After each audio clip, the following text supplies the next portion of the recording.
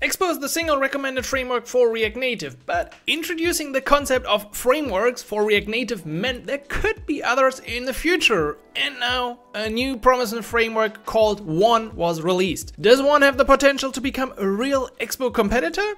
Let's check it out.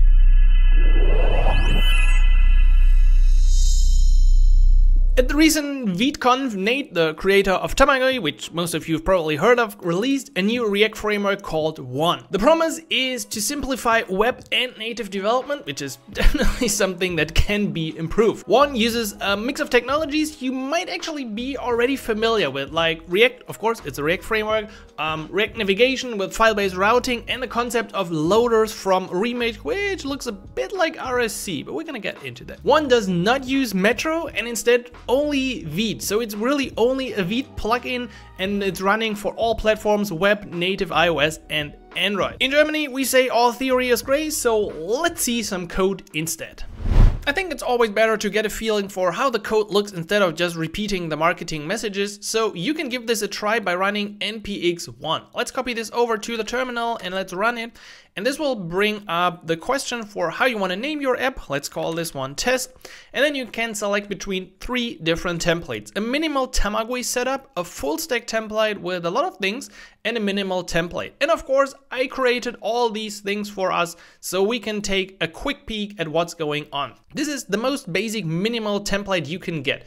And I especially like how short the list of dependencies is.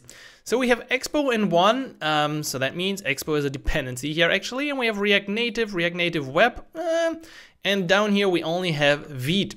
So I kind of like that this is super clean in here. We also do have a Vite conf, uh, config because it is basically just a plugin for Vite. So one is just a plugin here. Um, on top, if we check out our app, we're gonna see if you're coming from Expo and Expo Router, this looks kind of familiar. So we're gonna have to talk about this later. Uh, maybe there's going on some some forking and uh, some drama, but I don't want to talk about that. But um, if you come from React Native, this should in general feel very familiar. So let's check out, if we go to the package JSON, you can just run uh, npm run one dev as far as I can see here. So we got a couple of script, npm run dev. You could also, of course, use bun or other package managers. And then it is serving on port right here. So we should see hello world from one.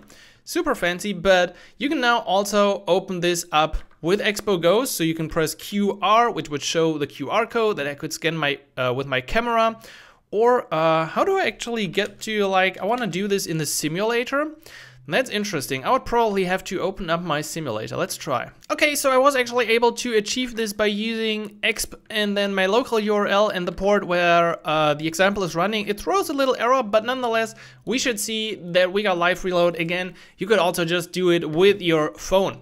And if we now follow the premise and go into this, we should see that uh, hello from Simon, we could change this and it should quickly update. So we got live reload without using Metro, which is quite interesting.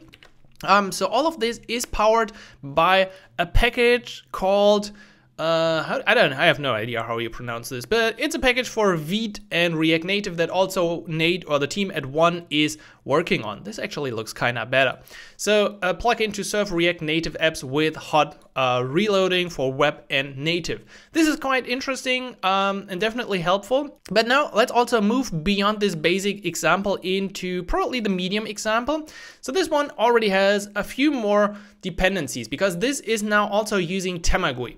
Nate, the creator of one, is also the creator of Tamagui, and he recommends using it because this gives you the most bang for your buck, basically. Because with Tamagui, you're using these kind of optimized component. Um, Tamagui is always um, flattening your CSS and the output of it. So it's kind of optimized for the web and also for native. If you check this out, we should see, yeah, here's our Tamagui CSS and within the index file, we now have stored of like a Y stack. So if you've used Tamagui, these things should be familiar to you.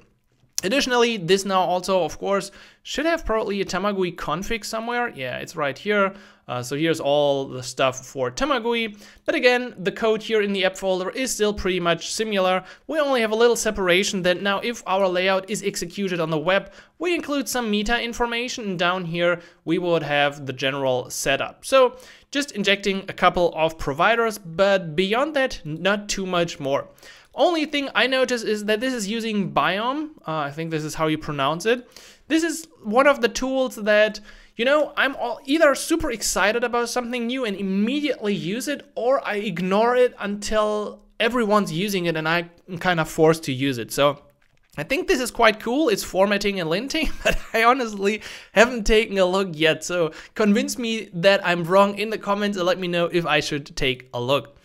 Now, let's probably also take a look at the advanced uh, example because this one is quite interesting because now we got a bit more going on. Again, if you use Expo Router, this should be familiar.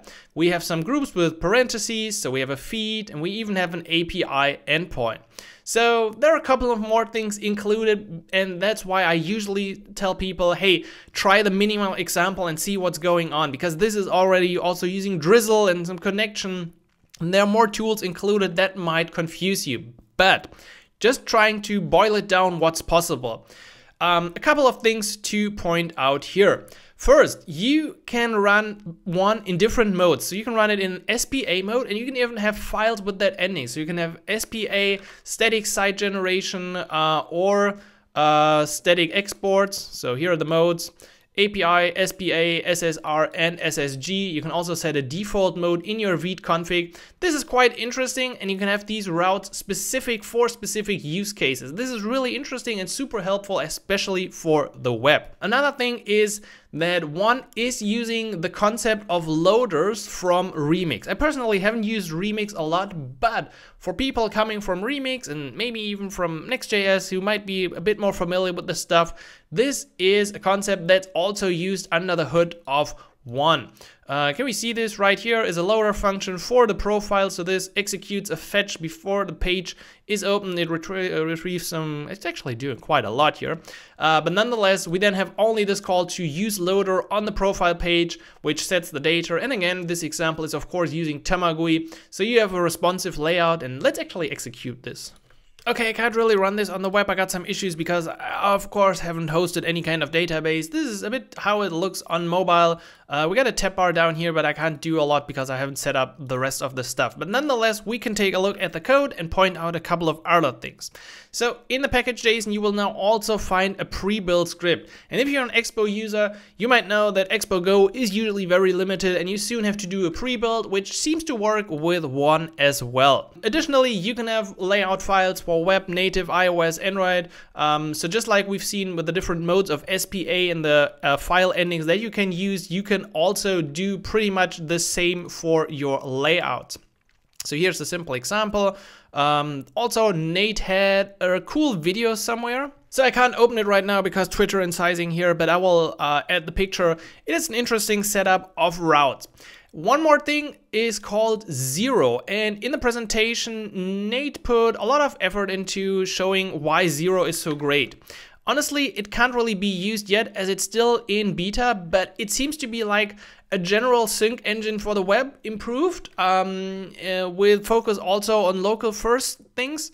Uh, honestly, I don't know exactly how it is and what it works. I got on the email list, so I will keep you updated about what zero is, but you can also use one without zero at this point. So more or less, this looks like a React Native project with Expo Router sprinkled in with additional flavor to make it more appealing for web with things like SPA, SSG, or SSR, uh, and additionally the concept of loaders, which will help us to retrieve data, uh, might be interesting to have a little comparison between the loader concept and React uh, native server components once they are out.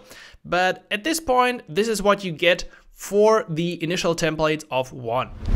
Alright, so one is absolutely an exciting new framework for React, especially if you want to build and ship your apps fast for web, iOS and Android, because the current way that many people use of a monorepository with Expo and a Next.js app for the web is definitely way more complicated than what one offers. But Expo Router works also pretty great at this point for web and is continuously getting better, so hmm, we're gonna see. The current status page of One tells us that it's not 100% ready for all platforms yet, but uh, keep in mind that this was uh, announced barely weeks ago. Only time will tell what the weak points of One might be and whether it finds bigger market adoption, currently sitting at around 2.5k GitHub stars. Coming back to our original question, is this an Expo competitor? Eh, one is using Expo as a dependency, so it can't be a direct competitor. It, it also doesn't offer all the benefits of using Expo and one is most likely not really interested in doing so either. If you decide to use one, you will most likely end up using Expo as well. However, Seeing some tweets, it definitely feels like there's something in the air between Evan, creator of Expo Router, and Nate, but maybe that's just because they have some backstory, I don't know. Maybe Nate forked it and used it as the base for one I'm not really interested in the drama, there are other YouTubers better at that. But, does one have the potential to become a popular React framework nonetheless? Absolutely. One's foundation really looks great to me and it's super simple and it's really eliminating the complexity of today's cross-platform development. While it's not a real Expo competitor, it's still kind of an alternative approach to build React Native apps at this point. But you probably wouldn't use it if your primary focus is only native apps. My final words, it's amazing to see innovation in the space and no matter where one ends up, new ideas always enrich the whole ecosystem for us developers. It's probably not my cup of tea as React Native has so many upcoming great features like the RSC in the next Expo SDK, the DOM components are recently showcased, strict DOM from Meta. For the moment, I trust in Expo and the development, but if you feel fancy and like new technology, give one a try and let me know how it worked for you. What are your thoughts on one? Um, maybe you've already tried it let me know in the comments. And also, check out this video up here if you want to learn more about the Expo DOM components I just mentioned. They are absolutely stunning, especially for web developers. I'll catch you in the next one. So until then, happy coding, Simon.